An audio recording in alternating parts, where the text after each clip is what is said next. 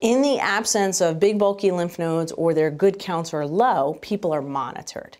Now, this is that period that they call watch and wait, or many of our patients call watch and worry.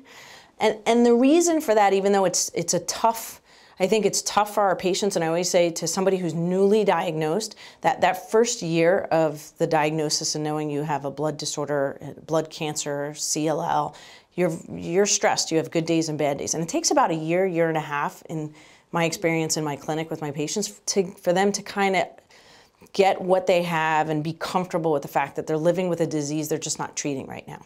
And so I liken it to other chronic diseases like high blood pressure, diabetes, heart disease. They're just actively getting medications for their problems. We're just not actively treating your leukemia right now. And for very good reason. Um, I know patients, you know, of course, you get a diagnosis of cancer, and so the goal is get it out, get it gone, be done because we don't have cures yet for CLL, if we start therapies, and originally, years ago, when we started traditional sort of chemoimmunotherapy drugs, we'd give a lot of side effects to patients and they didn't benefit them in the long term. If you don't need it, don't ask for it. So if we can benefit you from having a, a, free period of not needing some therapy that could give you potential side effects, and if you're the quarter of patients that never need to have treatment, so be it. Of course, I wish I could reassure that patient and do a blood test and knew that that patient would never need treatment and they can go on and never come to my clinic again. But until we actually have that and understand the biology better, we don't.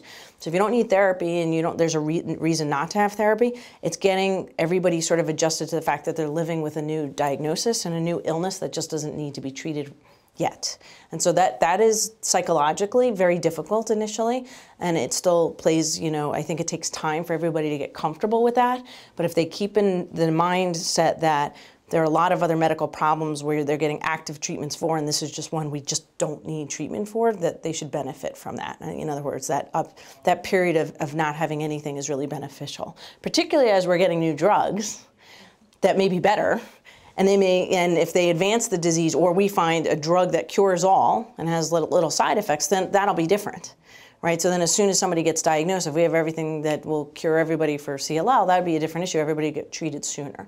So until that happens, that whole you need to watch and wait and just be accustomed to learning about your body, infections, other things I teach my patients about initially, what to look at good healthcare maintenance, screening for other cancers, calling us if they have developed any signs or symptoms of an infection. Those are the things I educate my folks about in the beginning as we sort of are just getting uh, more blood work from them to sort of help prognosticate them, and we could talk a little bit about that, um, to let them know a little bit about their biology, which may be different than someone else with CLL and then also how they can look at their life.